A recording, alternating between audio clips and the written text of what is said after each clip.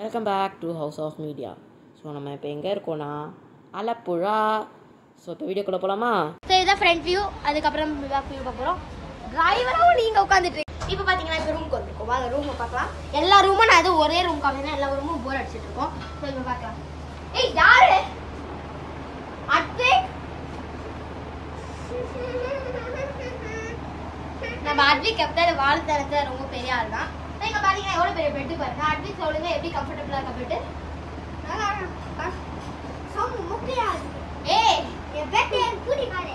இவர் சும்மா காமெடி சொல்லுவார் பட் பெட்டு நல்லா தான் இருக்கு. அந்த பக்கம் பார்த்தீங்கன்னா உங்களுக்கு வந்து ட்ராயர்ஸ் கொடுத்துருக்காங்க அது ரெண்டு பக்கமும் அதே மாதிரி தான் இருக்கும் ஸோ நம்ம அந்த பக்கம் உங்களுக்கு ட்ரெஸ்ஸிங் டேபிள் யாருக்காவது மேக்கப் போடணும்னா இங்கே உட்காந்து போட்டுக்கலாம். ஸோ ஓகே இப்போ நான் உங்கள்கிட்ட பின்னாடி பார்த்தோம்னா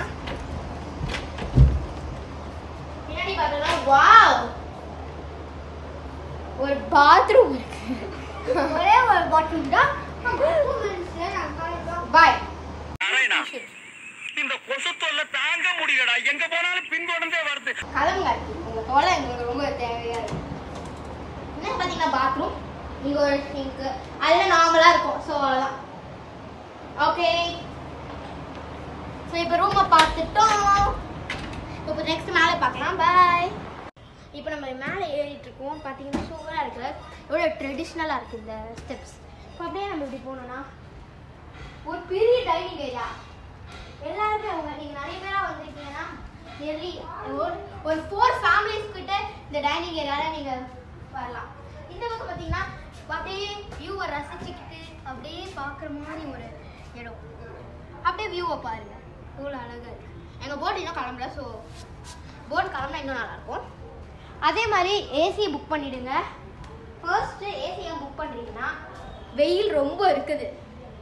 நீங்கள் ட்ரெயினில் வரீங்களோ காரில் வரீங்களோ எதில் வரீங்களோ ஆனால் வெயில் இருக்குது.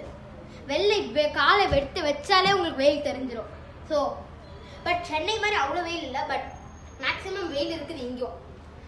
நீங்கள் கேரளாவில் மழை தான் பெய்யும் அப்படின்னு எதிர்பார்த்தது ஏசி புக் பண்ணாமல் வந்துடாதீங்க. அதுதான் என்னோட கருத்து. ஓகே இப்படி வாங்க இப்போ ஒரு பால்கனி பால்கனி அப்படியே ஸ்லிப்பர்ஸ் வெளியே அவுக்க சொல்றாங்க. ஸோ அதனால நம்ம ஸ்லிப்பர்ஸ் வெளியே அவுத்துறணும். அப்படியே சுற்றிக்கிட்டே இருக்கலாம். அப்புறம் அங்கே டிஜே டிஜே யாரையோ கூட்டு வந்து நம்ம டிஜே பண்ணிக்கலாம். DJ DJ DJ DJ hi Advik எப்படி இருந்தீங்க